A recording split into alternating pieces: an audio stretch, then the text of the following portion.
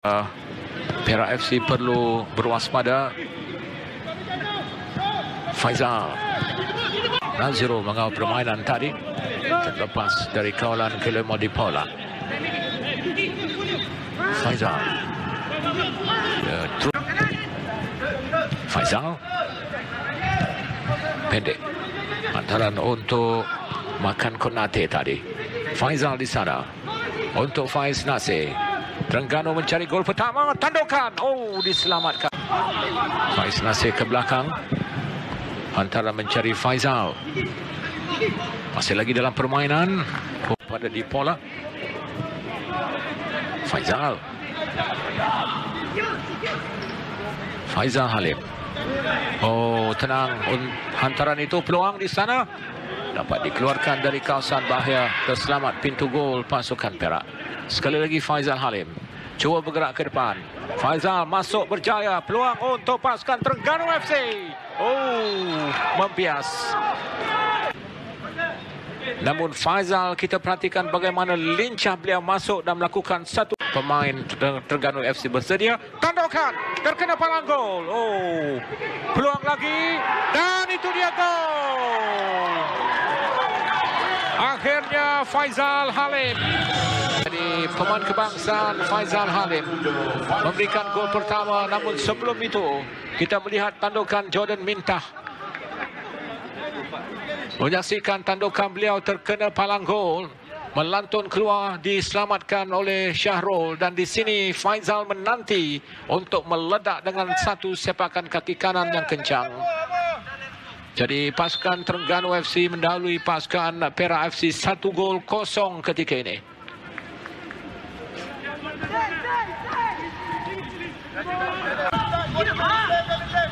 Oh, umpan tidak sampai kepada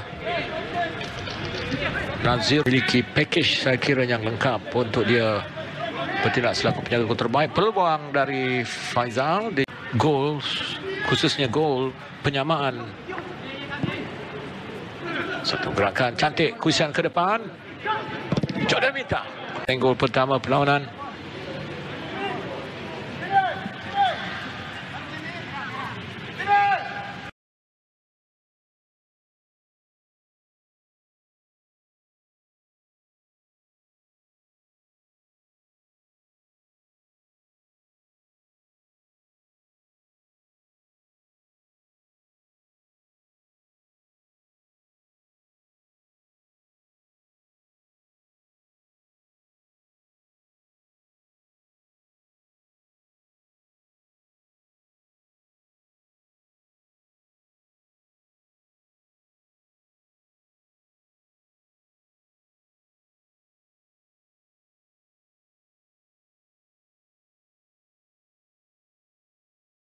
Fuse. Natso Adam Norazlin JDT di kawasan sendiri. Sebelum umpanan seperti ini, umpanan yang baik Adam kepada penjaring gol tunggal setakat ini Arif Aiman. Sekali lagi licik di dalam kotak penalti. Cutback yang dilakukan cemas untuk UITM. Ada lagi lorongan dan rebat.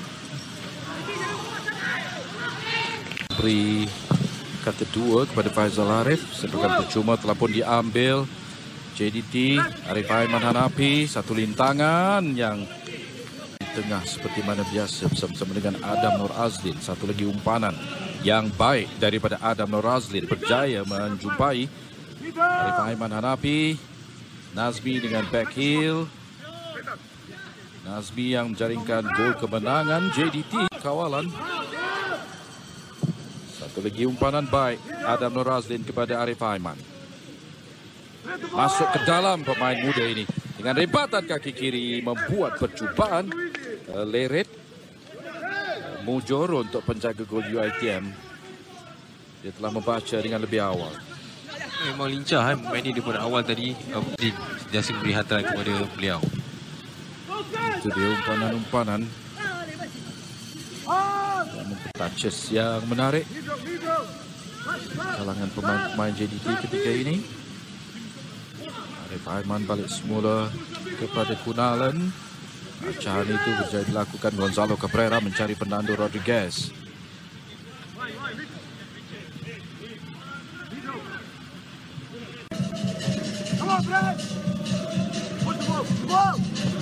Ah, lintangan yang berjauh juga dilakukan oleh Arif Aiman itu dari kawasan sendiri.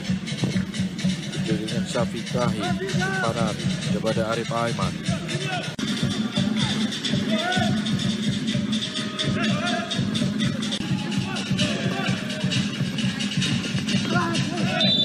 Agak bijak di sana sebenarnya pemain muda ini memastikan penguasaan dapat mengawal bola sebelum dia dikasari oleh pemain UI. Ya memang satu skill yang baik lakukan Ramadan terutama sekali di bahagian uh,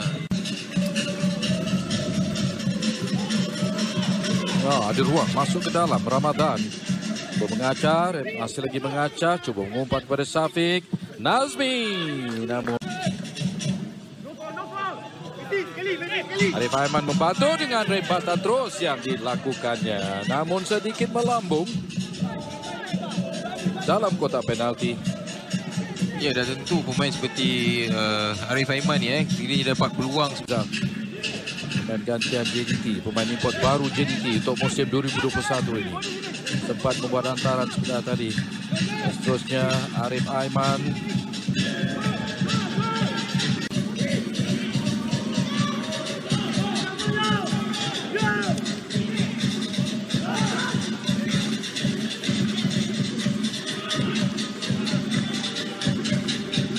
Daripada Senarai ke 11 Pemain yang mengambil tempat kekosongan yang ditinggalkan oleh Jonathan Herrera.